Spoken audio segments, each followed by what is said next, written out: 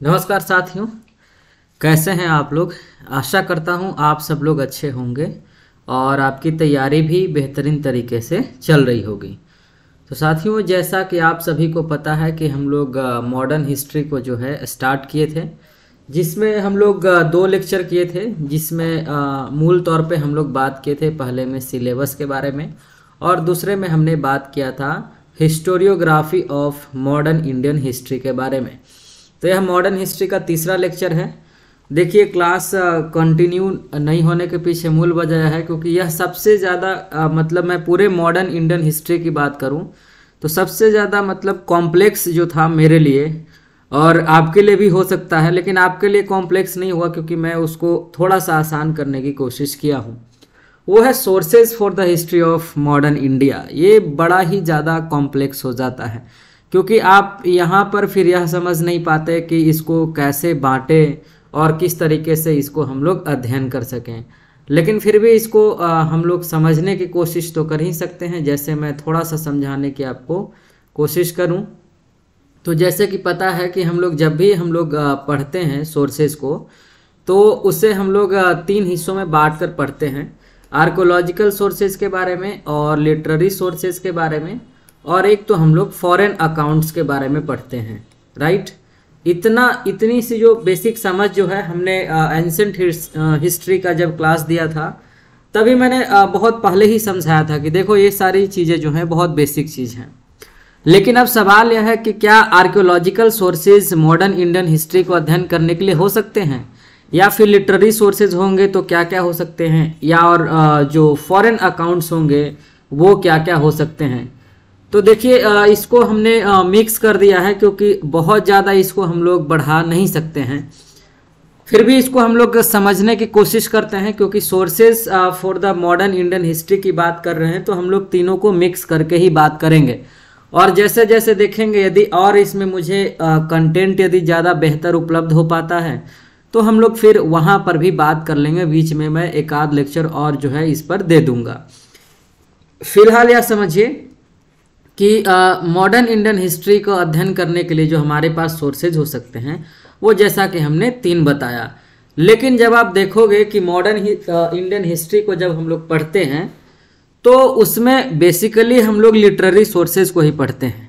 और यदि आप पीएचडी करने चले जाओगे मॉडर्न हिस्ट्री में रिसर्च करोगे, तब फिर आप आर्कोलॉजिकल सोर्सेज तक या फिर एंसेंट हिस्ट्री में रिसर्च करोगे, तब आप वहाँ तक पहुँचोगे। लेकिन चूँकि हम लोग मॉडर्न की बात कर रहे हैं तो मॉडर्न का आर्कोलॉजिकल सोर्सेज उस समय का इंस्क्रिप्शन हो सकता है। इंस्क्रिप्शन के अलावा और क्या कह सकते हैं? आ, मतलब कुछ मॉन्यूमेंट्स वगैरह हो सकते हैं। लेकिन उसके अलावा देखेंगे तो आर्कोलॉजिकल सोर्सेज बहुत कम ही मिलेंगे। मूल तौर पे जो हमें मिलेंगे क्या मिलेंगे? वह लिटरेरी सोर्सेज मिलेंगे जैसा कि आप यहाँ पे देख रहे हो। The sources for the history of modern India is mostly literary sources there is a plenty of information available on the political social economical and cultural developments in the country इन सारे चीज़ों पे आपको पढ़ना हो तो इतने सारे इन्फॉर्मेशन है, पर्याप्त हैं आप जो चाहें, जहाँ से चाहें पढ़ सकते हैं। लेकिन आप जब सोर्सेज पढ़ना चाहें तो आपको मूल तौर पे जो है लिटरेरी सोर्सेज पर ही डिपेंडेंट रहना पड़ता है। इस बात का पूरा ख्याल रखना है आपको पूरे मॉडर्न हिस्ट्री के दौरान। अब सवाल यह आपके दिमाग में आ सकता है कि जब हम लोग लिटरेरी सोर्सेज की बात करेंगे तो लिटरेरी सोर्सेज में किसकी बात होगी? चूँकि हम लोग मॉडर्न हिस्ट्री की बात कर रहे हैं तो लिटरेरी सोर्सेज में हम लोग बेसिकली बुक्स के बारे में बात कर सकते हैं। या फिर जो रिकॉर्ड्स रिपोर्ट्स जो जारी किए गए हैं, उसके बारे में, या फिर मिनट्स के बारे में भी बात हो सकती है। या इसके अलावा जो है रिकॉर्ड जो रहा है ईस्ट इंडिया कंपनी का, उस, वह भी हमारे लिए एक सोर्स का काम कर सकता है। इसके अलावा बुक्स के अलावा जो उस दौर में बहुत सारे राइटर आए हैं, चाहे फॉरेन के हों, चाहे इंडिया के हों। नॉवेल्स लिखे तो उसका क्या कंट्रीब्यूशन रहा है, वह किस तरीके से रोल प्ले किया है? उसके अलावा आप जो है, इस दौरान बहुत सारे यात्री भी आते हैं बाहर से। तो उन यात्रियों के द्वारा जो चीज़ें लिखी गई, भारतीय समाज को समझते हुए या फिर भारतीय स्वतंत्रता संग्राम को समझते हुए वो तमाम सारी किताबें, तमाम सारे रिपोर्ट्स तमाम सारे नॉवेल्स ये सारे के सारे हमारे लिए एक लिटरेरी सोर्सेज के तौर पे काउंट किया जाएगा। ध्यान रखना इस बात का। चलिए, जब हम लोग यहाँ पहुँचते हैं तो आप देखिएगा कि लिटरेरी सोर्सेज हमें मिल कहाँ सकता है। तो किताब के रूप में या गवर्नमेंट डॉक्यूमेंट्स के रूप में या न्यूज़ पेपर्स के रूप में भी मिल सकता है। अभी हम लोग इसी वीडियो में न्यूज़पेपर्स के बारे में पढ़ेंगे कि मॉडर्न हिस्ट्री में कितने सारे न्यूज़पेपर्स लाए गए थे, जो कॉलोनियल पीरियड में लाए गए और आज़ादी के दौरान तक चले। कई सारे के तो बाद में भी जो है कंटिन्यू किया गया है। मैगजीन्स भी हो सकता है पैम्पलेट्स हो सकते हैं हिस्टोरिकल बिल्डिंग्स हो सकते हैं, ये हमारे आर्कोलॉजिकल सोर्सेज में चले जाएँगे। एंड अदर वर्क्स हो सकता है आर्ट एंड आर्किटेक्चर के फ़ील्ड में, या फिर बायोग्राफीज हो सकते हैं मेमोर्स हो सकते हैं और मिसलेनियस सोर्सेज हो सकते हैं। ये सारे के सारे हमारे लिए क्या होंगे? लिटररी सोर्सेज के तौर पे, या फिर sources for the study of modern history के तौर पे इसे काउंट किए जाएँगे। अब देखना यह है कि बहुत सारे बहुत सारी किताबें जो हैं अलग अलग लैंग्वेज में उपलब्ध हैं। क्योंकि आपको पता है कि प्रिंटिंग प्रेस की स्थापना होती है, उसके बाद बहुत लेखन की कला में जो है, एक अलग तरीके से क्रांति का दौर आता है। तो अलग अलग किताब छपते हैं इंडियन लैंग्वेज में भी फॉरेन लैंग्वेज में भी छपते हैं और दोनों उपलब्ध भी हैं, अभी भी उपलब्ध हैं। तो क्लासिक इंडियन लिटरेचर जैसे बांग्ला साहित्य देखेंगे या फिर आसामी साहित्य देखेंगे या बिहार के लोकल लैंग्वेज में देखेंगे या तमिल साहित्य देखेंगे तो सभी लैंग्वेज में जो है उस पीरियड में खासकर सत्रह सौ सतावन से लेकर उन्नीस सौ सैंतालीस के बीच में बहुत सारी किताबें लिखी गई। तो ये सारी की सारी किताबें हमारे लिए एक सोर्सेज के तौर पे काम करेंगी। हम लोग कुछ किताबों के बारे में जानेंगे जहाँ से सवाल पूछा जा सकता है या फिर जो हमारे रिच में है। क्योंकि ये हमारा टॉपिक नहीं है, हम लोग पीएचडी इस पर नहीं कर रहे हैं, इस बात को ध्यान रखना है। These books are throw light a good deal of the light on the progress made made man and different field such as medicine engineering ये कहता है कि तमाम तरह की किताबें हमें बताती हैं कि कैसे हमारे यहाँ मेडिसिन का डेवलपमेंट हुआ। ब्रिटिश पीरियड में, क्योंकि एंसेंट में तो हम लोग पढ़ ही चुके हैं। ठीक है? चलिए तो ये कुछ कुछ किताबें हैं, या आप भी पढ़ सकते हैं। गवर्नमेंट डॉक्यूमेंट्स को यदि आप एक्सेस करेंगे तो वहाँ से आपको मिलेगा कंट्री के साथ कौन सा ट्रेड हो रहा था, कितने का ट्रेड होता था, कहाँ से ट्रेड होता था कौन कौन से पोर्ट थे, वहाँ से कौन कौन से माल का जो है व्यापार किया जाता था, कहाँ जा रहा था, और उस पर कितना रिवेन्यू लगता था, कितना चुंगी कर लगता था, ये तमाम तरह की चीज़ें जो है आपको गवर्नमेंट के डॉक्यूमेंट से मिलेगा। उसके अलावा करा एट वन टाइम और अनदर और the other the nawabs of Bengal nawab of Awadh Amir Sindh के आमिर पंजाब के सिख और पश्चिम इंडिया के जो मराठाज हैं हैदर अली टीपू सुल्तान इन सब के भी यहाँ भी कुछ न कुछ लिखा गया। उस दौर में भी इन लोगों ने भी काफ़ी कुछ लिखा। तो ये सारे भी हमारे लिए एक सोर्सेज के तौर पे काम करेंगे। पुर्तगीज आए डच आए इंग्लिश आए फ्रेंच आए ये सारे ऑर्डर में दिया हुआ है। तो इन लोगों के साथ साथ कई सारे यात्री भी आए थे। तो उन लोगों भी ने भी जो है अपना अपना अकाउंट लिखा है जिसमें कुछ के बारे में हम लोग जानेंगे भी। मैं एक दो लिखवाऊँगा। और ये सारे डॉक्यूमेंट्स चूँकि ये सारे बस ऐसे ही मैंने पॉइंट में आ, किया हुआ है तो ये आपको ज़्यादा समझने की ज़रूरत नहीं है। आपको शायद इंटरनेट पर भी मिल जाएगा। Also get a lot of information about the modern period from a large number of news papers ये तो हम लोग अभी ऊपर में पढ़े ही।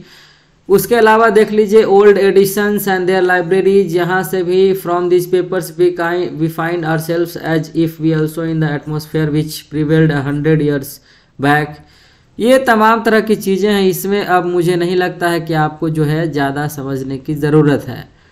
और बायोग्राफीज एंड जो है मेमोर्स का एक अपना कंट्रीब्यूशन होता है, जैसे अलग अलग फ्रीडम फाइटर्स का अपना अलग अलग जो है बायोग्राफी है, किसी का ऑटोबायोग्राफी है तो वह भी हमारे लिए एक सोर्स के तौर पे काम करता है। यहाँ पे गांधी हैं, नेहरू हैं भगत सिंह हो सकते हैं, अंबेडकर हो सकते हैं, सुभाष चंद्र बोस हो सकते हैं, बहुत सारे लोग हैं सबका, लेकिन कुछ जो मूल तौर पे जो सबसे ज़्यादा इम्पोर्टेंट है, उनके बायोग्राफीज को आपको ध्यान में रखना ज़रूरी है। अब जो है हम लोग जो अलग अलग करके थोड़ा सा पढ़ने की कोशिश करते हैं समझने की कोशिश करते हैं। इसको हटा देता हूँ और फिर मैं ब्लैंक स्लाइड ले लेता हूँ। चलिए। अब देखिए जैसे मुझे आ, समझने की आवश्यकता हो थोड़ा सा हाँ चलिए। तो अब हम लोग इसमें ये समझेंगे कि क्या क्या हो सकता है हमारे पास। तो अभी हमने बताया कि देखो, कम गवर्नमेंट का जो है रिकॉर्ड्स हमारे लिए वो तो काम करेगा ही। तो ब्रिटिश ईस्ट इंडिया कंपनी का जो रिकॉर्ड है, वह हमारे लिए एक सोर्स के तौर पे काम करेगा। तो ईस्ट इंडिया कंपनी ने कई सारे अभिलेख जारी करवाए थे। आपको पता है कि 1600 में इसकी स्थापना हुई और 1600 से लेकर के अठारह के रिवोल्ट तक यह कंटिन्यू करते हैं। तो इस दौरान कई तरह के रिपोर्ट भी जारी किए जाते हैं। ये सारे रिपोर्ट्स जो है, आप जब रिसर्च के फ़ील्ड में आएँगे तब आपको ज़रूरत पड़ेगी। अभी मुझे नहीं लगता इसकी ज़रूरत है कहीं पे भी। लेकिन फिर भी मैं आपको बता देता हूँ कि यदि आप पढ़ना चाहें तो मैं इसको आपको दिखाता हूँ। ईस्ट इंडिया कंपनी के कुछ रिकॉर्ड्स हैं जो हमने डाउनलोड किए हैं वो आपके लिए जानना जो है ज़रूरी है। आप भी इसको एक्सेस कर सकते हैं मैं बताऊँगा इसका तरीका क्या है। देखिए ये आ, जैसे देखिए ईस्ट इंडिया ये मैं यहाँ से आपको जो है दिखाता हूँ। यह जो किताब है, इसमें बेसिकली इसी के बारे में मेंशन है। यह दिखाने का बस इतना पर्पस है कि देखिए, आपको यह जानने की ज़रूरत नहीं कि आप इतना पढ़कर क्या करोगे। यार रिसर्च में तो जाना नहीं अभी। मतलब अभी तो आपको पढ़ना ही है ना बस। लेकिन फिर भी आप जानो, जानना चाहिए। यहाँ पे जैसे बहुत सारे रिकॉर्ड्स को यहाँ पे मेंशन किया गया है। देखिए list list of marine records on the late East India Company and the subsequent get record department of East India office London तो ये अठारह में इसको कंपाइल किया गया। इंडिया ऑफ़िस लंदन में जो है, यह अभी भी उपलब्ध है। इसके इंट्रोडक्शन पार्ट में जाएँगे तो बहुत तमाम तरह की चीज़ों का ज़िक्र किया गया है। और लास्ट में जब इसके फुटनोट्स में जाएँगे तो जैसे देखिए voyages of sir James Lancaster to the in Indies ऐसे कर कर के इसमें इतने सारे रिपोर्ट्स का ज़िक्र किया गया है। देखिए कोर्ट मिनट्स है, सात सात अक्टूबर 1600 का कोर्ट मिनट्स है, ग्यारह दिसंबर 1600 का। ये सब आपको जो है, आप मिलेगा कहाँ से? चूँकि आप ज़्यादा यदि इच्छुक हो और आप ज़्यादा और इसमें एक्सप्लोर करना चाहते हो, आपको लगता है कि मैं जानना चाहती हूँ या जानना चाहता हूँ तो आप मुझे टेलीग्राम पे जुड़कर ज़रूर टेक्स्ट कर देना ताकि मैं आपको इंडिविजुअल भेज सकूँ और अपना नंबर मुझे टेक्स्ट कर देना क्योंकि मैं एक ग्रुप तैयार कर रहा हूँ व्हाट्सएप पे जो पेड कोर्सेज में जो लोग जुड़े हुए हैं ताकि मैं वहाँ पे सारा जो है शेयर कर दूँ। देखिए, ये सारे रिकॉर्ड्स हैं, उसी उसी दौरान के रिकॉर्ड्स हैं। आप बताओ, ये सारी चीज़ें आपको कहीं नहीं मिलने वाली। आप कितना भी कुछ कर लें या फिर आप यूट्यूब पे कहीं पे क्लास वगैरह भी करते हैं तो आपको गुरुजी नहीं बता सकते हैं क्योंकि इतना आ, रिसर्च करने की ज़रूरत भी नहीं है क्योंकि ये थोड़ा ज़्यादा हो जाता है। लेकिन फिर भी आ, मैं आ, हेल्प कर रहा हूँ इस मामले में कि आ, आप जो रिसर्च के फ़ील्ड में आओगे तो मुझे लगता है कि आपको ये सब पहले से थोड़ा बहुत सीखना चाहिए। जैसे यहाँ पे देख सकते हो court minutes and marine records court minutes history of merchant shipping court minutes Lancaster voyages ये सारे के सारे यहाँ पर मेंशन है। और इसमें जैसे जैसे आप नीचे आओगे, सारे के सारे रिपोर्ट्स हैं, देखिए। ये सारे रिकॉर्ड्स हैं। तो ये सारे के सारे रिकॉर्ड्स आपको मॉडर्न इंडियन हिस्ट्री का जब आप इकोनॉमिकल हिस्ट्री पढ़ेंगे तो उसमें आपको हेल्प करेगा। देखिए, मैं पेज स्क्रॉल करता जा रहा हूँ, ये खत्म ही नहीं हो रहा है। तो मैं इसमें जैसे कुछ पढ़ करके आपको बताता हूँ। जैसे देखिए, सत्रह का है सेवन का देख रहे हैं आप? यहाँ पर देखिए, सत्रह का है। और उन्नीस अक्टूबर सत्रह का ईस्ट इंडिया यार्ड, कैप्टन कौन है? यहाँ कैप्टन का नाम नहीं है। तो कैप्टन का नाम नहीं, इसका मतलब ऊपर वाला होगा। तो विलियम बेल है कैप्टन, देख रहे हैं आप, ठीक? और शिप का, शिप क्या है? ईस्ट इंडिया यार्ड है। शिप का नाम है, कैप्टन का नाम है, लॉग इंड्स है, यानी कि यहाँ पर जो है उन्नीस अक्टूबर सत्रह को चला और फिर यहाँ पर यहाँ पहुँचा 9 जुलाई उन्नीस सौ को। क्योंकि अब तो उस समय इतना ज़्यादा साइंस डेवलप किया नहीं है तो समुद्रिक व्यापार ही हो रहा है तो टाइम भी लगता है। रेफरेंस नंबर दिया हुआ है, रिसिप्ट का बुक नंबर दिया हुआ है, यहाँ पे देख सकते हैं, छः सौ अठासी सी।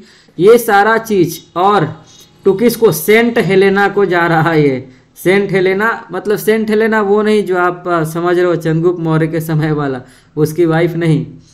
ठीक है?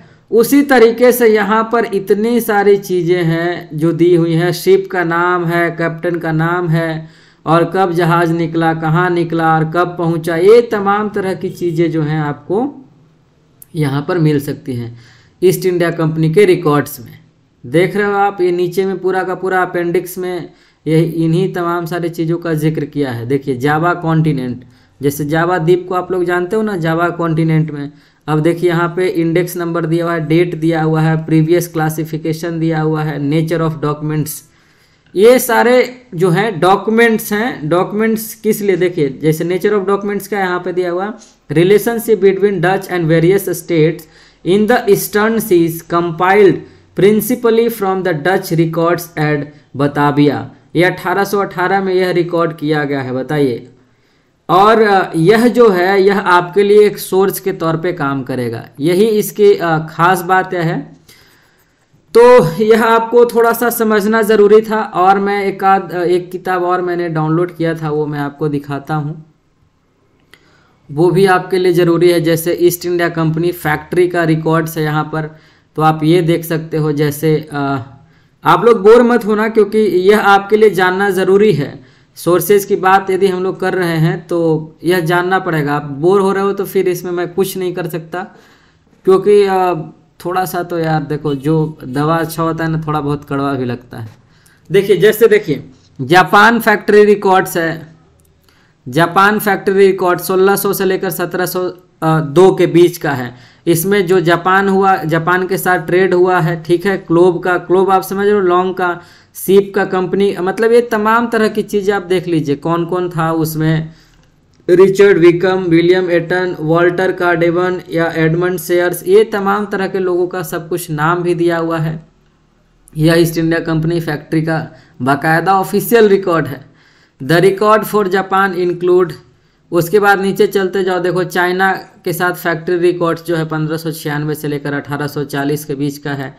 ठीक, उसके उसके बाद यदि हम लोग चलें तो देखिए यहाँ पे दिया हुआ है diaries of the super super cargoes super cargoes आप समझ रहे हैं ना? Of the ship papers of the Board of Control Canton diary of Chinese dept Canton financial consultation Canton commercial consultation Canton factory consultation agency consultation उसी तरीके से जो है यहाँ पर और भी दिया हुआ है डिटेल में। Memory of the East India Company state with China list of commodities for sale to China ये यहाँ पर जाते जाओगे जाते जाओगे, आपको डिटेल खत्म होने वाला नहीं है। ये नोट पार्ट टू है। चाइना फैक्ट्री रिकॉर्ड्स पंद्रह से अठारह आ गया।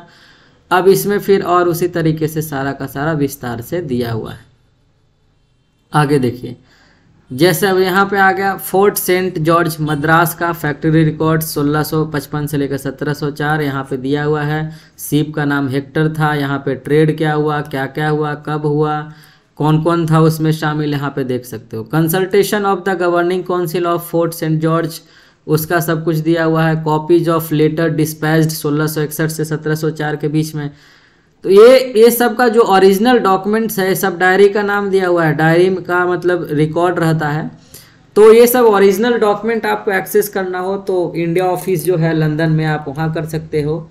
या फिर भारत का जो नेशनल आर्काइव ऑफ़ इंडिया है, जनपथ और राजपथ के बीच में, कहाँ पे? नई दिल्ली में। तो आप यहाँ पर भी जा कर के जो है, इसको एक्सेस कर सकते हैं। ये थोड़ा इन्फॉर्मेशन ज़्यादा हो गया, मैं समझ सकता हूँ। इसके अलावा एक और मैं दिखाना चाहता हूँ आप लोग थोड़ा सा पेशेंस रखो यार। देखो इंडो ब्रिटिश ट्रेड बुक ये हमने डाउनलोड किया सिर्फ़ ये लिए कि आप लोग के लिए कि यार आ, मतलब ज़्यादा से ज़्यादा मैं समझा सकूँ। तो ये आपके लिए फ़ायदेमंद होगा। इसमें देखिए यूनिवर्सिटी ऑफ़ कैलिफ़ोर्निया प्रेस से छपा या सत्रह से अठारह के बीच जो है ईस्ट इंडिया कंपनी का क्या क्या रिकॉर्ड रहा है इस किताब में जो है। बहुत ही ज़्यादा विस्तार से दिया हुआ है। तो यह मैं आपको भेज सकता हूँ। आपको मैंने बताया कि आप कैसे जुड़ सकते हैं। चलिए अब मैं वापस जो है वहीं आता हूँ जहाँ पर हम लोग थे। चलिए तो ये रिकॉर्ड्स के बारे में हो गया। आ, आप देख सकते हो इसमें ज़्यादा रटना नहीं मैं बस आपको समझाने की कोशिश कर रहा था। अब देखिए चूँकि उस समय केंद्र सरकार वही है ईस्ट इंडिया कंपनी ही है उसके अलावा जो और भी जुडिशरी की स्थापना होगी तो उससे रिलेटेड जो इंस्क्रिप्शन जारी किए गएँगे, वो सभी।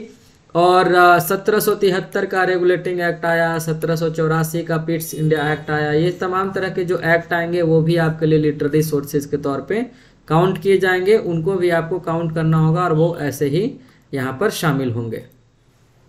उसके बाद देखिए, यदि आगे हम लोग बढ़ें तो आपको एक बात बताऊँ, पहले जो है इम्पीरियल रिकॉर्ड्स के नाम से जो है डॉक्यूमेंट को रखा जाता था इंडिया में, और यह जो है कोलकाता में था। लेकिन अब जो है 1911 में जब राजधानी का परिवर्तन हुआ तो इसको नेशनल आर्काइव ऑफ़ इंडिया के नाम से दिल्ली में स्थापित किया गया तो यह दिल्ली में शिफ्ट कर गया। इसलिए अभी भारत सरकार का या फिर भारत के हिस्ट्री से जुड़े हुए जितने अभिलेख हैं ऑलमोस्ट वह आपको यहीं पर मिलेंगे नेशनल आर्काइव ऑफ़ इंडिया में। अभी मैंने एड्रेस भी बताया ऊपर में कि आप कहाँ से कहाँ जो है, वो स्थित है, आप उसको जा करके देख सकते हैं। कुछ जुडिशियरी से रिलेटेड भी अभिलेख जारी किए गए, जैसे उदाहरण के तौर पे यदि मैं कहूँ तो आपको याद होना चाहिए फोर्ट विलियम चूँकि कोर्ट भी, सुप्रीम कोर्ट भी पहली बार कोलकाता में ही बना है तो वहाँ पर अभिलेख जो जारी किया गया था सत्रह में उस समय मेयर कोर्ट था तो वहाँ पे जारी किया गया। उसके अलावा आगे भी सत्रह सौ चौहत्तर से इकसठ के बीच में जो है जारी इकसठ मतलब अठारह सौ इकसठ उसके बीच में। और आपको पता है कि आ, मतलब जो क्या नाम है कलकत्ता और बॉम्बे और मद्रास ये तीन तरीके के कोर्ट भी बनाए गए यूनिवर्सिटीज़ बनाए गए। तो यहाँ पर जो डॉक्यूमेंट्स इकट्ठा किए गए या फिर जो कुछ भी लिखा गया वह भी हमारे लिए मॉडर्न इंडियन हिस्ट्री के लिए सोर्सेज के तौर पे काउंट किया जाएगा काम होगा। चलिए, इतना सारी, इतनी सारी बातें यदि आपको समझ में आती हैं तो आप सच में बहुत अच्छे स्टूडेंट हो, यदि सच में समझ में नहीं आती है तो भी अच्छे स्टूडेंट हो, कोशिश करो समझ में आ जाएगी यार, बहुत मुश्किल नहीं होता है। चलिए, अब हम लोग यह बात कर लेते हैं कि जो, जहाँ से हमसे सवाल पूछा जाता है, सवाल पूछा जाएगा दो तीन जगह से कि उस दौरान न्यूज़पेपर्स कौन कौन रहे हैं, या फिर उस समय जो नोवेल्स लिखे गए या किताब लिखे गए, उसके बारे में आपसे सवाल पूछा जा सकता है। तो न्यूज़पेपर्स कौन कौन थे, उसका मैं एक पीडीएफ बनाया हूँ, वो अभी हम लोग उसको पढ़ेंगे। लेकिन उससे पहले हम लोग यह देख लेते हैं। कुछ कुछ जो है फॉरेन अकाउंट्स है। हालाँकि इसको मैं अभी ऐसे ही शॉर्ट में बता रहा हूँ। इसको मैं और विस्तार में फॉरेन अकाउंट्स को इकट्ठा कर रहा हूँ, ताकि मैं पीडीएफ बनाकर जो है आप तक पहुँचा दूँ। जैसे आप देख सकते हो बेंजामिन हेन का बेंजामिन हेन। इसका लिख लीजिएगा 1814 1814 में, इन इसमें लिख लीजिएगा, several tours.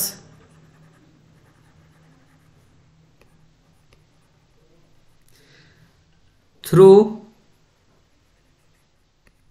various through various parts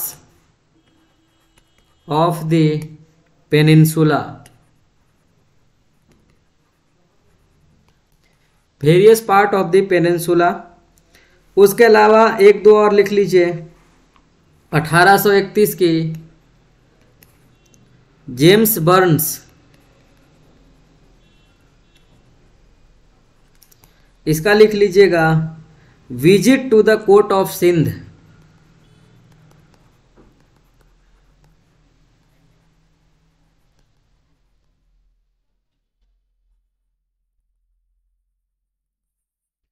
Visit to the court of Sindh आगे एक लिख लीजिएगा डेविडसन का।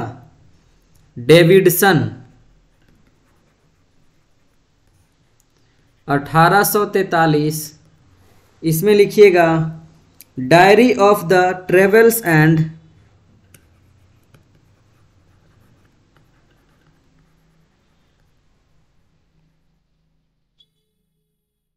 diary of the travels and adventures in Upper India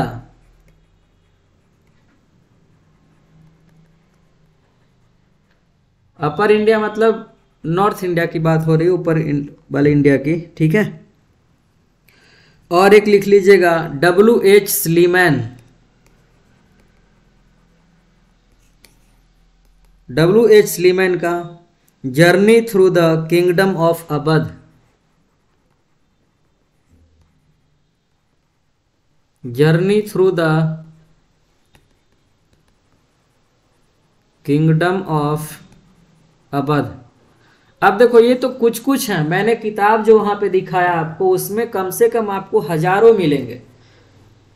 तो आप वहाँ से उसका जो है फ़ायदा उठाएँगे। आप एक बार जुड़ जाना, मैं उसको कोशिश करूँगा, भेज ही दूँगा तो आपके लिए ज़्यादा बेहतर होगा। तो ये ट्रैवलर अकाउंट से ट्रैवलर्स अकाउंट में भी जो जुडिशरी से जुड़ा हुआ है। अब जो सबसे ज़्यादा इम्पोर्टेंट जो चीज़ होता है, वो मॉडर्न हिस्ट्री में मॉडर्न हिस्ट्री के सोर्सेज में, वह तो एक किताब हमने बताया और दूसरा जो होता है न्यूज़ पेपर्स ठीक है? तो किताब और न्यूज़ पेपर्स का सबसे ज़्यादा कंट्रीब्यूशन रहा है। तो ये ध्यान रखो, किताब और न्यूज़ पेपर्स की बात करें हम लोग तो किताब में पहले कुछ कुछ देख लेते हैं। अब जब किताब की बात करें हम लोग तो ध्यान रखिए कि बुक्स में जब हम लोग बात करेंगे तो हो सकता है कोई क्लासिक टेक्स्ट हो, या फिर पैन लेवल पे पैन इंडिया के लेवल पे काम किया गया हो उसमें, या फिर हो सकता है कोई रीजनल लैंग्वेज में लिखा गया हो, जैसे बांग्ला में, आसामी में, या फिर मैथिली में, या फिर हो सकता है तमिल में, तेलुगु में, मराठी में, किसी भी भाषा में हो सकता है। तो उसको हम लोग कैसे एक्सेस करें? तो उसके लिए मैं आपको बता देता हूँ, क्योंकि मैं जितना बताऊँगा, उतना ज़्यादा तो पर्याप्त नहीं होगा। लेकिन हाँ एग्ज़ाम के पॉइंट ऑफ़ व्यू से पर्याप्त हो जाएगा, उसके लिए ज़्यादा नहीं करना है। फिर भी मेरा सजेशन है कि आप लोग पढ़िए।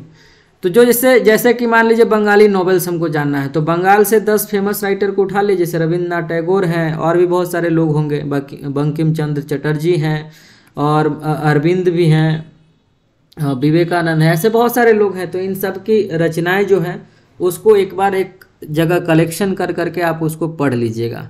कलेक्शन मतलब उनकी रचनाओं को नहीं पढ़ना है, बस नाम पढ़ लेना है और लैंग्वेज और फिर कब पब्लिकेशन हुआ, बस इससे ज़्यादा आपको जानने की ज़रूरत नहीं है। इससे ज़्यादा जानोगे तो आप पागल हो जाओगे। तो चलिए कुछ कुछ आप लिख लीजिए। जैसे कि बांग्ला में, मैं बी लिख रहा हूँ तो बी फोर बांग्ला होगा। ठीक है, बांग्ला में लिख लीजिएगा, काजी नजरुल इस्लाम, बहुत फ़ेमस आदमी है। काजी नजरुल इस्लाम। काजी नजरुल इस्लाम अठारह सौ निन्यानवे से 1976 इन्होंने लिखा है, बस नाम याद रखिए कि ये सब फ़ेमस आदमी हैं। काजी नजरुल इस्लाम जो हैं, उसके अलावा उर्दू में के फ़ील्ड में कहें तो मोहम्मद इकबाल साहब हैं, शंकर कुरूप हैं, मलयालम में मलयालम में हैं शंकर कुरूप सुब्रमण्यम भारती हैं। और इस तरीके से सुब्रमण्यम भारती के ही जन्म दिवस के आधार पर शायद भाषा दिवस मनाया जाता है। भाषा उत्सव कुछ दिन पहले हमारे यूनिवर्सिटी में मनाया गया था। तो यही तमिल कवि हैं, बहुत प्रसिद्ध कवि रहे हैं। उसके अलावा हिंदी में बात करें तो निराला है, प्रेमचंद है, इन तमाम तरह के लोगों ने जो है लिखा है। कुछ नोवेल है जिसको आपको जान लेना चाहिए कि यार ये जो है आपसे पूछा जा सकता है। तो देख लीजिए, उसमें से कुछ कुछ लिख लीजिए। जैसे आप लोग बंकिम चंद्र चटर्जी को जानते होंगे तो वो बंगाल के कहा जाता है कि पहले नोवेलिस्ट हैं। ठीक है? तो उनके बारे में पहली बात क्या याद रखनी कि बंगाल के पहले नोवेलिस्ट हैं। Bankim Chandra Chatterjee, B C C. Mail करते होंगे तो आता होगा। ठीक है? चलिए। तो इनका जो है यदि सबसे फ़ेमस की बात करें तो आनंद मठ जो है और अट्ठारह में यह छपा है। ठीक है? है ना? उसके अलावा आपको पता है कि इन्होंने राष्ट्रीय गीत गाया वंदे मातरम गीत गाया ठीक? और लिख लीजिएगा गुजराती साहित्य में एक बहुत बड़े विद्वान हुए हैं उनका नाम है सूर्य राम देसाई। अब इसमें जो है जब मैं बांग्ला की बात किया तो इसमें आप रविंद्रनाथ टैगोर को शामिल कर सकते हैं गीतांजलि को उनका लिख सकते हैं या फिर उन, उनका जो कंट्रीब्यूशन रहा हालाँकि वो सब हम लोग आगे पढ़ेंगे। यहाँ पर सोर्सेज में बस आपको एक आइडिया जानना ज़रूरी है, क्योंकि यार ऐसे पढ़ने में आगे फिर मज़ा भी नहीं आएगा, इसलिए कुछ कुछ जान लो। तो यह जो है सूर्य राम देसाई है। देसाई टाइटल जो ऐसे ध्यान रखिए, ज़्यादा समझना नहीं है। देसाई सरनेम जो है, वह है गुजरात का। आपको कैसे याद रखना है? कोई राइटर का नाम है तो उसके सरनेम से भी हम लोग पकड़ सकते हैं। तो जैसे ही एक सरनेम को पकड़ो तो उसके बाद एक बार सर्च कर लो गूगल पे कि देसाई सरनेम के लोग कहाँ पे पाए जाते हैं। तो वो पता चल जाए कि गुजरात ओरिजिन का है। जैसे अभी भारत में बहुत सारे लोग हैं।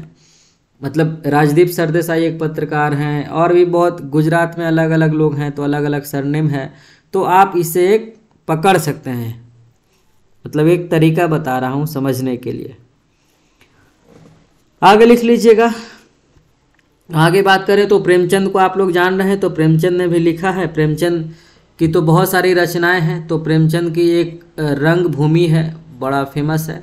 तो रंग भूमि को लिख लीजिएगा 1924 गोदान को लिख लीजिएगा, गोदान इन्होंने 1936 में लिखा है, सेवा सदन 1919 में लिखा था, जलियांवाला बाग जब हुआ था, उसके अलावा प्रेम आश्रम लिख लीजिएगा 1924 में लिखा उन्होंने। और फिर बहुत सारे उपन्यास लिखे जैसे आप कफन की बात करें तो कफन जो है अपने ज़िंदगी के क्लाइमेक्स स्टेज में इन्होंने लिखा था। और बहुत तरह के कहानियाँ भी लिखी। पोस की रात है या फिर शतरंज के खिलाड़ी है, ये तमाम तरह की कहानियाँ इन्होंने लिखी।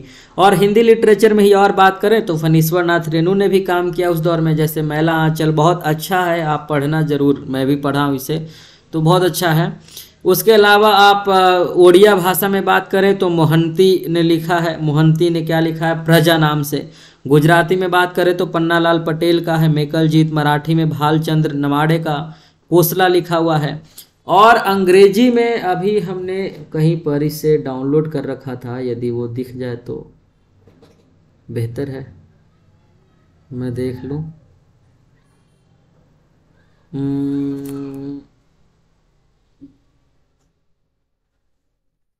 नहीं। नहीं नहीं वो नहीं है।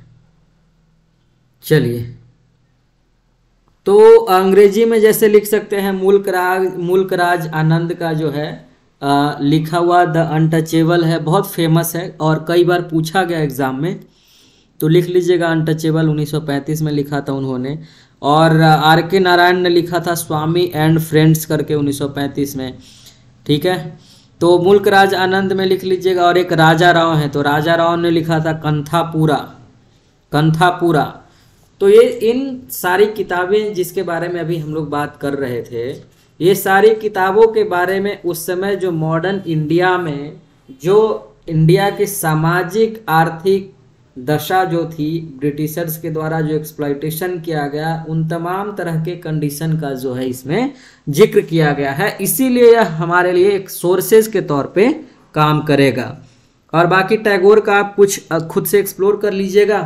नहीं तो इस पर एक लेक्चर और यदि हम करेंगे तो उसमें हम लोग और इस पर थोड़ा बहुत बात करेंगे। लेकिन मुझे लगता है काफ़ी है, पर्याप्त है आपको समझने के लिए। इसमें और देख लीजिए, एक पार्ट हो सकता है, पेंटिंग वगैरह का पार्ट हो सकता है, कि पेंटिंग का भी अपना कंट्रीब्यूशन रहा है, क्योंकि कई लोग पेंटिंग के माध्यम से ही चीज़ों को दिखा रहे थे, अपना जो है एक्सप्रेशन व्यक्त कर रहे थे। तो वो सारी चीज़ें भी जो है इसमें आ सकती है। जैसे उस वक्त जो है, बनारस जो है एक चित्रकारी के आ, मतलब प्लेस के लिए या पटना भी है जो उस समय फ़ेमस था उस चीज़ के लिए तो वहाँ से भी जो डॉक्यूमेंट्स मिलेंगे वह भी हमारे लिए जो है एक सोर्सेज के तौर पे काम करेगा। ठीक है अठारह सौ सत्तावन का रिवोल्ट हुआ था तो उसके ऊपर भी कई तरह के पेंटिंग्स बनाए गए। और बॉम्बे कोलकाता मद्रास पटना यहाँ सभी जगह पे जो है पेंटिंग्स के लिए अलग अलग ब्रिटिश रॉयल एकेडमी टाइप से जो है बहुत तरह के एकेडमी बनाए गए। और यहाँ से कई सारी चीज़ों को एक्सप्रेस भी किया गया विरोध की आवाज़ को भी दर्ज किया गया। और उसके अलावा उस समय के जो है social economical and cultural and exploitation को भी जो है आ, दर्शाने का डेमोन्स्ट्रेट करने का काम किया गया। इसीलिए यह भी जो है कहीं ना कहीं एक रोल प्ले करता है। इसमें पेंटिंग भी लोगों को प्रमोट करने में तो नेशनलिज्म को प्रमोट करने में एक कारण यह भी रहता है। ठीक है? तो यह भी हमारे लिए एक सोर्स के तौर पे काम कर सकता है। अब हम लोग मोटे मोटे तौर पे समझ चुके हैं कि क्या क्या जो है हमारे लिए मॉडर्न इंडिया में सोर्सेज का काम कर सकता है और कुछ कुछ हम लोग जानने की कोशिश भी किए कि देखिए, इसमें जो है आपको कॉन्सेप्चुअल फ्रेमवर्क बनाना ज़रूरी है। आपके दिमाग में चीज़ रहनी चाहिए कि यदि कोई सोर्सेज ऑफ़ मॉडर्न इंडिया कह रहा है, इसका मतलब क्या होता है? बस इतना आपको समझना है। ज़्यादा इसमें रटना नहीं है। क्योंकि आगे हम लोग जब पढ़ेंगे ना news papers in modern Indian history तो पूरा का पूरा हम लोग वहाँ पे धज्जियाँ उड़ा करके पढ़ेंगे। उसके लिए आप टेंशन मत लीजिए। अब हम लोग थोड़ा सा यह देख लेते हैं कि न्यूज़ पेपर्स के बारे में हम लोग बात किए नहीं तो न्यूज़ पेपर्स भी होगा ही तो उसको हम लोग देख लेते हैं। अभी हम लोग मैं न्यूज़ पेपर्स का आ, किया था वो कहाँ चला गया यार? ये ट्रेवलर्स का क्या है? इससे मैं थोड़ा सा देख लूँ। इसमें कुछ ट्रैवलर्स के बारे में दिया हुआ है तो मुझे लगता है इसको भी थोड़ा सा डिस्कशन कर लेते हैं। यार, मैं बहुत लालची आदमी हूँ, मैं चाहता हूँ कि जितना मैं, मेरे पास है, मैं सब कुछ दे दूँ। देखिए, इसमें कुछ कुछ दिया हुआ है, देखिए, फ्रांसिस बर्नियर के बारे में एक आर्टिकल मैंने डाउनलोड किया था। देखो, ये सब पीएचडी में होता है करके कोई टीचर आर्टिकल वगैरह डाउनलोड करके वहाँ से इन्फॉर्मेशन जुटाना बड़ा मुश्किल हो जाता है हमारे लिए भी। देखिए तो इसमें बहुत तरह के नाम आ सकते हैं, जैसे जेम्स लिंड है, सत्रह सौ सोलह से चौरानवे, विलियम विद्रिंग है, ये सब केवल नाम ही आप याद रखोगे, काफ़ी हो जाएगा। ठीक है, जैसे कार्ल है तो कार्ल का क्या है? Linnaeus Systema Naturae the system of nature के नाम से। इस किताब में क्या लिखा है? The Swedish naturalist laid out a classificatory design to categorize all plant form on the planet known और अननोन टू यूरोपियंस ठीक है, ये इस चीज़ में ज़िक्र किया गया है।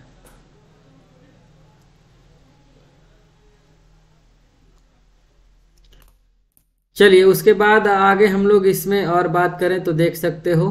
क्वीन क्वीन क्राउड्रफ के बारे में है 1743 से लेकर 1819 इन्होंने जो है स्टडी ऑफ़ मेडिसिन किया है हिंदुस्तान में। तो यह देखो, नाम याद रखना है आपसे पूछा जाएगा, द स्टडी ऑफ़ मेडिसिन किसने लिखा है? तो भाई क्वेंटन ये चीज़ें आपको क्लियर करनी होगी, मैं नहीं कर सकता इसमें कुछ। इसका भी पीडीएफ मैं दे सकता हूँ, लेकिन जो सीरियस कैंडिडेट होंगे, केवल वही। पियरा सोनरेट है तो यह 1748 से 1814 है। यह निफ्यू है, फ्रेंच बोटनिस्ट के। क्या नाम है उनका? पियारे पोबरे। वो फ्रेंच नेचुरलिस्ट थे, एक्सप्लोरर थे। उन्होंने भी किताब लिखी है और उन्होंने अपने राइटिंग्स में जो है इस चीज़ का ज़िक्र किया गया ये सब इंडिया से रिलेटेड है, इसीलिए इसको हम लोग को जानना ज़रूरी है। स्मॉल पॉक्स पे काम है। अब देखिए, जैसे कि यहाँ पर देख सकते हैं, क्लाउडे फ्रांसिस लैम्बर्ट हैं तो इन्होंने लिखा इंडियन फिजिशियंस के बारे में। ठीक है? उसी तरीके से आप देखिए, जॉन हेनरी ग्रोज हैं 1750 से तेरासी, ये सिविल सर्वेंट हैं ईस्ट इंडिया कंपनी के अंतर्गत। ठीक, ये ब्लडी फ्लक्सेस के बारे में लिखे हैं। The Brahman suggest a very simple but as they pretend a most infallible remedy consisting in a strict abstinence from among thing but but रे स्टीवेड ड्राई ये भी जो है आप देख सकते हो कि ये भी आ, मेडिकल पे ही है क्लाइमेट पे देख सकते हो हाँ क्लाइमेट से रिलेटेड और नेचुरल चूँकि नेचुरलिस्ट हैं इसलिए उसी पे इनका भी काम है। उसी तरीके से कास्टर नेबर हैं इतना टाइमिंग दिया हुआ है ये इंजीनियरिंग पे काम है इसी तरीके से देखो ओलफ टोरेन है बहुत सारे लोग हैं यार एडवर्ड इविस हैं मैं कितना नाम बताऊँ हमारे लिए कम हो जाएगा आपके लिए बहुत ज़्यादा हो जाएगा। एडवर्ड टेरी हैं इनका भी काम है। ये सारे लोगों का नाम आपको जो है याद रखना है। मैं बस जैसे थॉमस पेनांट हैं, ये सारा मैं आपको हॉलवेल की घटना आपको याद ही होगी। सत्रह सौ ग्यारह से अंठानवे इनका टाइमिंग है। Eastern practitioner with great modesty इन्होंने किताब लिखी और इसमें स्मॉल पॉक्स के बारे में डिज़ीज़ के बारे में बेसिकली चर्चा है। तो ये सूचनाएँ भी जो है आपके लिए जानना ज़रूरी था। अब देखो, अब हम लोग जो है न्यूज़ पेपर्स पे आते हैं। और न्यूज़ पेपर्स कौन कौन था, उसे भी हम लोग को जानना ज़रूरी है। देखिए, ये हमने पीडीएफ बनाया था sources for the study of modern Indian history इसमें लिस्ट है न्यूज़पेपर्स का और जर्नल्स का ब्रिटिश इंडिया के दौरान। जैसे बंगाल गजट आता है 1780 में, और जेम ए कलकत्ता से छपता है, जेम्स अगस्टस हिक्की जो है, इसके, ये देखो, यहाँ पे जो नाम लिखा हुआ है, वो या तो उसके चेयरपर्सन है या फिर एडिटर है। ठीक है, यह आपको ध्यान रखना है। ऑनर भी हो सकते हैं एडिटर भी हो सकते हैं। तो मतलब जो इम्पोर्टेंट आदमी है, जो आपसे पूछा जाएगा एग्ज़ाम में, वही यहाँ पर मैंशनड है। तो सत्रह में आया था, बंगाल गजट। उसी तरीके से संवाद कौमुदी है, संवाद कौमुदी एक बिकली अखबार था, साप्ताहिक, बंगाली में छपता था 1821 में राजा राम मोहन राय ने निकाला था। मिरातुल अखबार है, पहला जर्नल है पर्शियन लैंग्वेज का 1822 में आया, कलकत्ता से आया, राजा राम मोहन राय ने लाया। बंग दत्ता है, विकली है, चार लैंग्वेज में आता था, अंग्रेज़ी, बंगाली, पर्शियन, हिंदी 1822 में आया, कलकत्ता से राजा राम मोहन राय द्वारका नाथ टैगोर, ठीक है? इन दोनों ने इस पे काम किया।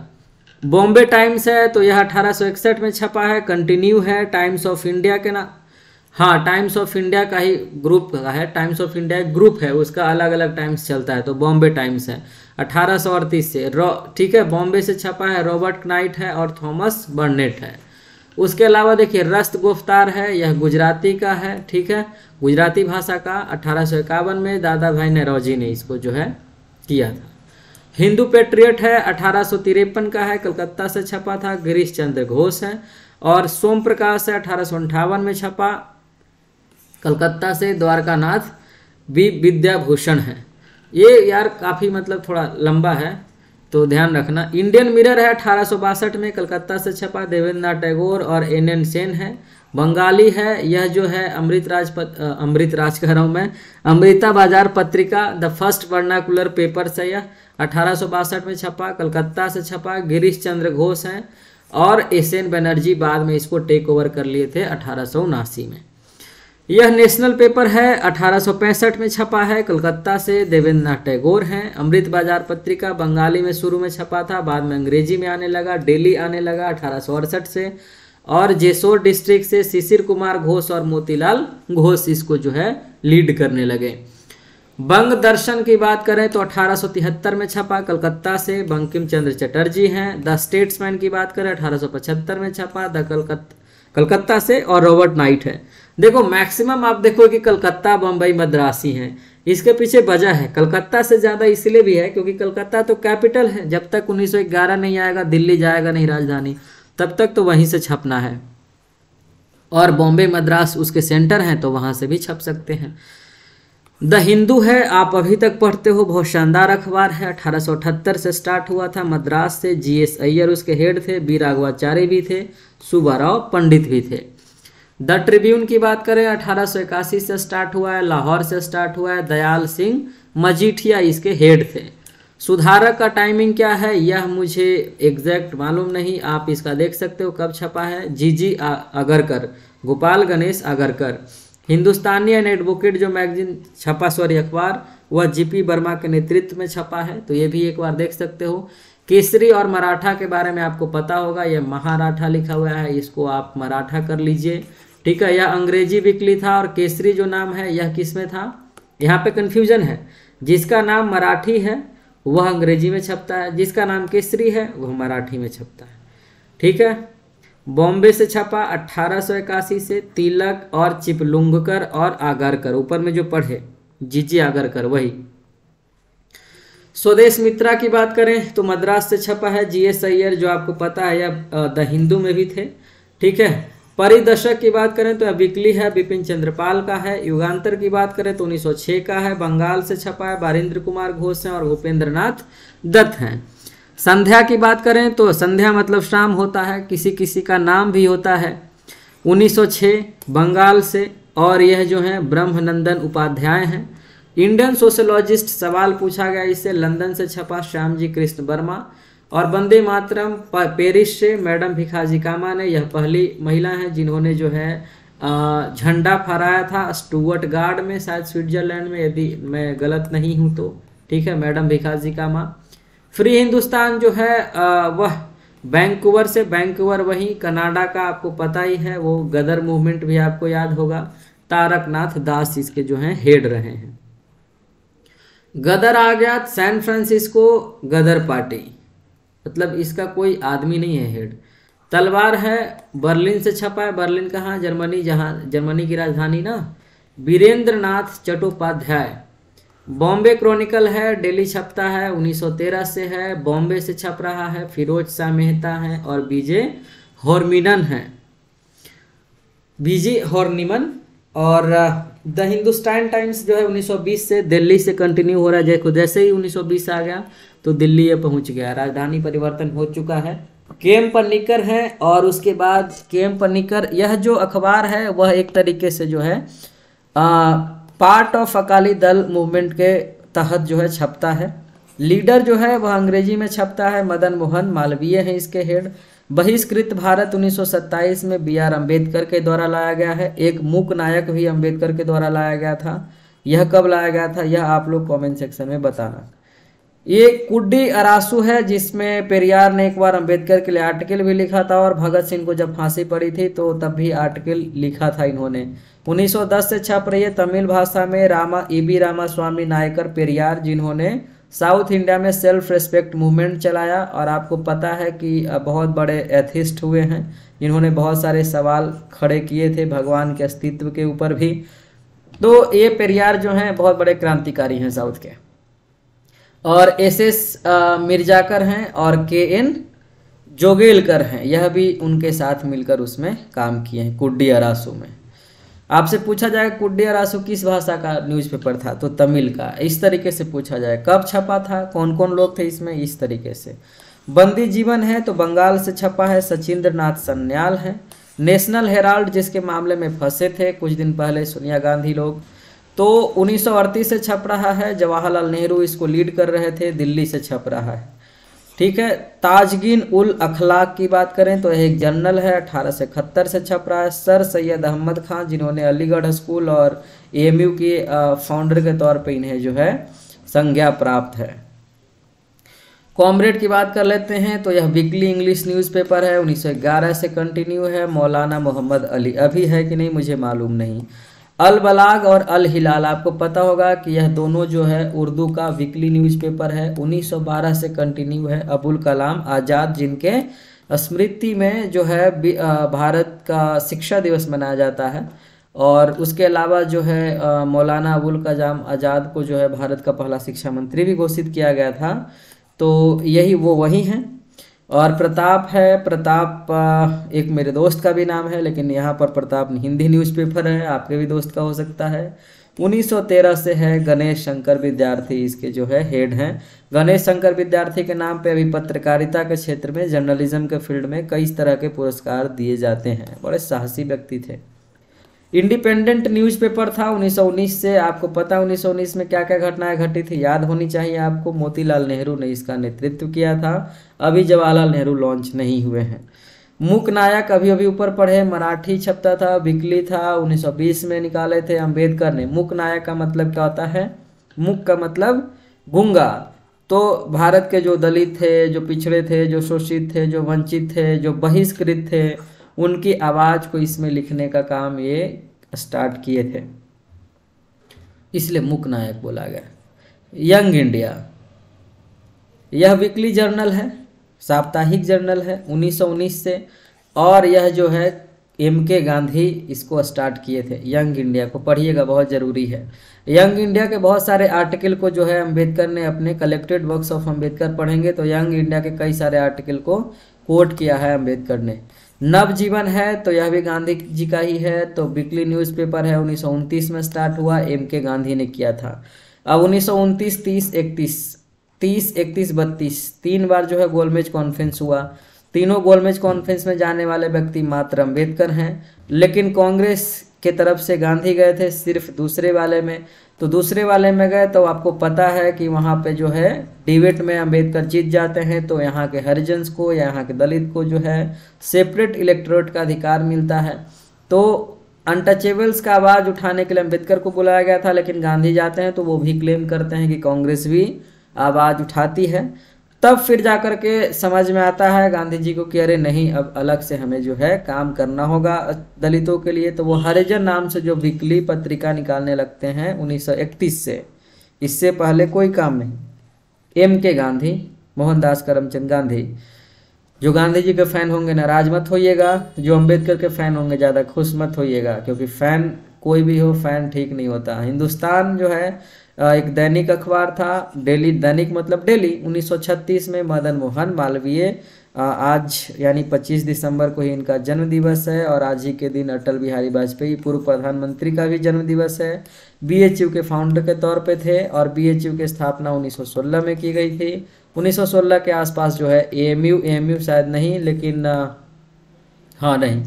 तो इसकी स्थापना की गई थी 1916 में। लखनऊ का सम्मेलन हुआ था, अंबिका चरण मजूमदार उसके हेड थे। ये कुछ कुछ ऐसे मैंने बकवास कर दिया है।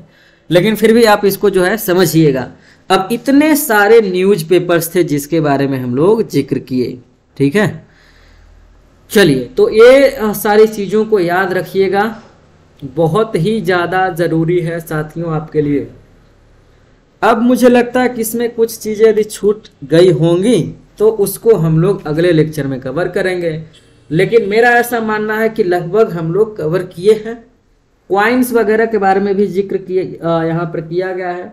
तो मैं कोशिश करूँगा कि और इसमें जो है एक लेक्चर और लूँ। लेकिन अब यहाँ से जो है पॉलिटिकल हिस्ट्री हम लोग कंटिन्यू करेंगे नेक्स्ट लेक्चर से। बहुत बहुत शुक्रिया इस वीडियो को देखने के लिए। और जो लोग जो है इस क्लास को आपके फ्रेंड हैं, कोई एक्सेस करना चाहते हैं और वो नहीं कर पा रहे हैं, इसका तरीका नहीं पता तो मैं उनके लिए हिंट दे दूँ कि आपको कुछ करना नहीं है। आपको जो है, जिस तरीके से मान लीजिए कि आप, आपका कोई मेल आईडी है, आप उस मेल आईडी से अपनी जाएँगे। यूट्यूब पर जाएँगे, कुसुम नेट क्लासेस आप ढूंढेंगे। कुसुम नेट क्लासेज तो यूट्यूब पे पूरा एक ही कुसुम नेट क्लासेस है। यहाँ पर जाना है आपको, फिर इस आइकॉन पे जाना है। आइकॉन पे जाने के बाद आपको ज्वाइन बटन पे जाना है। ज्वाइन बटन पे जाने के बाद आपके पास सिर्फ़ एक ही ऑप्शन है, सात सौ निन्यानवे रुपया आपको पर मंथ पर मंथ कहने का मतलब क्या है कि जैसे एक महीने में आपको सात सौ निन्यानवे रुपया देना होगा। अब ये हो सकता है कि सर मॉडर्न हिस्ट्री का फ़ी कितना होगा? तो मॉडर्न हिस्ट्री का फ़ी कोई फिक्स है नहीं। जैसे हम लोग का टारगेट है कि दो महीने में जो है इसको कवर कर ले। दो महीना बहुत है मैक्सिमम जाएगा तो तीन महीना, पर मेरा टारगेट दो महीने का है। तो दो महीना यदि जाता है तो आपको सात सौ निन्यानवे और फिर नेक्स्ट मंथ तो सात सौ निन्यानवे देने होंगे। तो यह मंथली वाइज इसलिए क्या है ताकि सब लोगों के लिए अफोर्डेबल हो, सब लोग इस चीज़ को अफोर्ड कर सकें। तो आप यहाँ से ज्वाइन बटन के थ्रू जा करके जो है क्लिक करेंगे, फिर आपसे मांगेगा, आपका एड्रेस मांगेगा और आपसे पेमेंट का जो है कैसे आप करना चाहते हैं वो आपको यहाँ पे ऑप्शन देगा। तो आप इसके थ्रू कर सकते हैं। करने के बाद क्या होगा, उसका फ़ायदा क्या है कि जैसे यहाँ पे प्लेलिस्ट है, मॉडर्न इंडिया भी हम लोग पढ़ा रहे हैं तो इस प्लेलिस्ट को सिर्फ़ वही लोग वीडियो को देख सकते हैं, जैसे देख सकते हैं, पिछला वीडियो हमने पढ़ाया था तो ये मेंबर्स ओनली हैं। जो चैनल के मेंबर्स हैं, वही देख पाएँगे।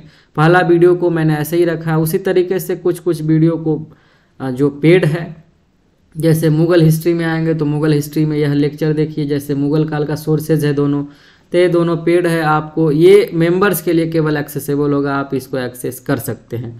उसी तरीके से हिस्टोरियोग्राफी के सेक्शन में आएँगे तो कुछ वीडियो हैं, जैसे कि जनरलाइजेशन का वीडियो है तो आप इसको जो है पेड करके पेड एक ही बार करना है मतलब एक बार पेड करना है, बाकी जो भी वीडियो पेड है इस पर सब वीडियो देख सकते हैं। बहुत बहुत शुक्रिया thank you so much take care